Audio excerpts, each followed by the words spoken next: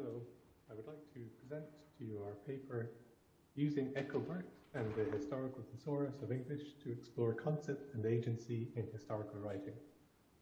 On behalf of me and my co-authors who are listed on this title slide.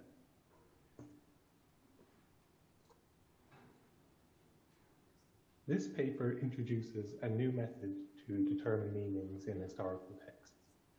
It relies on a context-aware language model using transformer architecture. As a case study, we use the method to understand more about the 18th century luxury debate.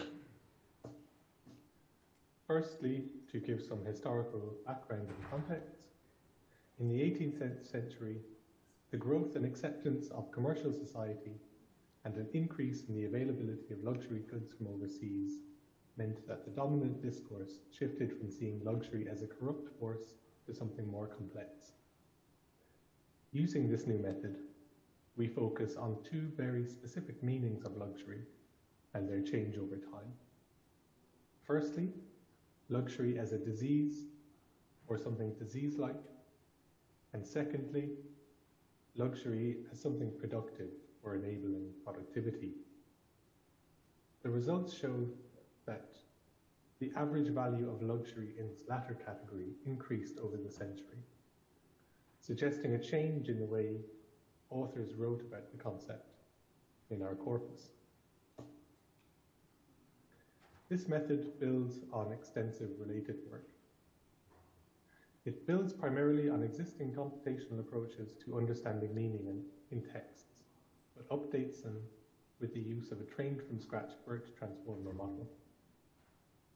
Many existing approaches to semantic representations focus on the distributional hypothesis, using tools such as word2vec to compare the contexts and distributions of words to determine semantic similarities, such as Debola, the work done by Debola et al. However, these general models have been criticized for lacking the specificity needed by historians Particularly relevant to this paper is the work done to disambiguate word senses to a, high, a set of higher level classes or categories, usually derived from large semantic dictionaries, such as the work done by Kiermaier et al., Piao et al., and Robinson et al. BERT transformer models have also previously been used to detect shifts in historical language meaning. This paper primarily uses two resources, the ECCO-BERT language model created by the Turku NLP group, and the, secondly, the Historical Thesaurus of English, or HTE.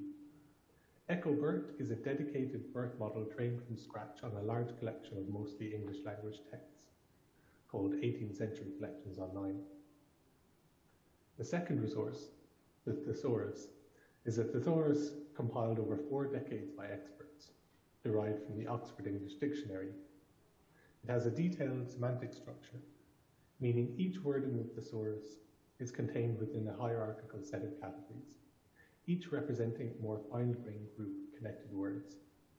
Each word in the thesaurus is also assigned a first and last state of known uses, usage. So the HTE has a hierarchical structure.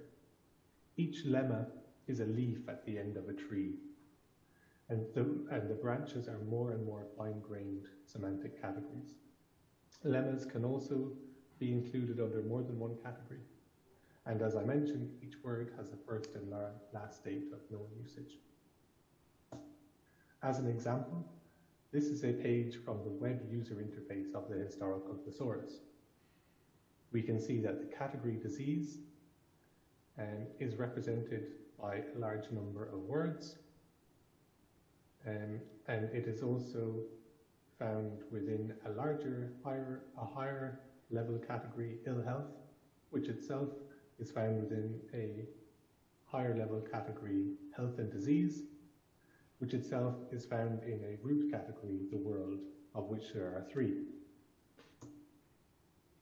And so our method combines the information in the HTE which essentially represents a huge number of recorded meanings done by domain experts, with the context sensitive language model to help understand meanings in a particular context. And we do this to generate semantic categories for any given utterance of a word. It's important to note it's not a classifier, so our aim is also to find non-standard or secondary senses, nor is it trying to capture sentiment directly, but rather the semantic categories under which a particular word falls in a, in a given context. We, um, we use the assumption that a semantic category can be represented by the words found within it. So the concept of ill health, for example, might be represented by the words sickness, plague, ailment, and so forth. The proposed method extracts senses from the representations of word as found in ECCO-BERT, using references and connections from the, the source. So to quickly sum up the method, we remove a seed word of interest generate the most likely replacements using a BERT model, and then derive a category score for each category in the thesaurus by comparing the BERT replacements to the words or lemmas in the historical thesaurus. As a simplified dummy example, take the following sentence. On seeing any extraordinary display of the means of luxury and magnificence, he used to felicitate himself that he had no occasion for such articles and would exclaim, of how many things stand I in no need. In order to determine the semantic categories, or this instance, this utterance of the word luxury, we delete the word luxury and ask ECCO-BERT to predict the most likely word in, in, the, in the missing spot. So imagine the result were the following words plus competence or probability scores. Wealth, riches, extravagance, pomp, and corruption. Now imagine we had a dictionary which just had two categories. The first category is the world, health and disease, ill health, and this is represented by the lemmas sick, disease, illness, and corruption. And the second category is the world, relative properties, quantity, sufficient quantity. And this is represented by the words full, wealth, riches, and satisfied. To get the score for category one, we take the sum of the probabilities for all of the predicted words which are also found in that category. In this case, for category one, it's just one word, uh, corruption, with a low score, so the total score is 0.05. Whereas for the second category, there are two words, both with high scores, uh, and summing those gives us a category score of 0.7. So as a preliminary study, this method was applied to each instance of a single word on the ECCO dataset, luxury. Luxury in the 18th century, wrote Berg and Eger, gradually lost its former associations with corruption and vice, and came to include production, trade, and the civilizing impact of superfluous commodities.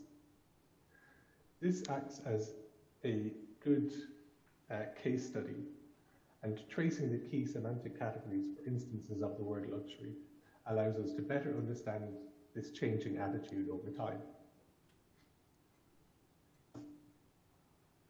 Using the method, we extracted category scores for all instances of the word luxury in the ECCO dataset. In many cases, the method was able to derive sensible and meaningful semantic categories for these words. This is most apparent in the aggregate, seen in the results from the top 10 below. So the, the top 10 categories, semantic categories for the word luxury include um, sensuous pleasure, ostentation, usefulness, pastimes, quality of being good, and etc., etc. Of particular relevance are two from this top 10 list. First, the world action or operation advantage usefulness, and second, world health and disease, ill health, and disease. These two categories are good proxies for the two dominant and opposing views of luxury. Something first as something corrupting and responsible for moral decline, and second, something productive and potentially useful. On the in, in the following page, we will show examples of high scoring instances. First, take these two examples uh, from 18th century texts. The, the example on the left uh, is an example of a high scoring instances for the category usefulness. This is taken from a letter by Oliver Goldsmith, who famously wrote extensively on the upsides of luxury. Goldsmith writes, the natural consequences of security and affluence in any country is a love of pleasure. When the wants of nature are supplied, we seek after the conveniencies. When possessed of these, we desire the luxuries of life. And when every luxury is provided, it is then ambition takes up the man and leaves him still something to wish for.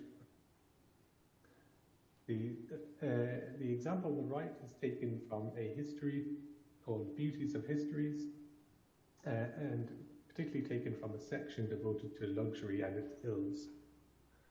Um, this, the author writes, but alas, it was not long ere Cyrus himself sowed the first seeds of that luxury which soon overspread and corrupted the whole nation. So we can see here two very clearly different views and attitudes towards the word luxury. To understand more about how these views of luxury changed over time, we graphed the average value of each for each year of the century. And while the data is noisy, it in general points to a flat average use for luxury in the, category disease, and at the same time, towards the second half of the century, an increase in the, the usefulness category, suggesting, um, as we have seen from the existing historical literature, a change in the attitude, or at least an increase in the attitude seeing luxury as something that could have potential use and might drive industry or productivity. We can also look at the average scores from the point of view of individual authors. These box plots um, visualize the average scores for 10, the 10, the top 10 categories for different authors. And we can see some differences in between them.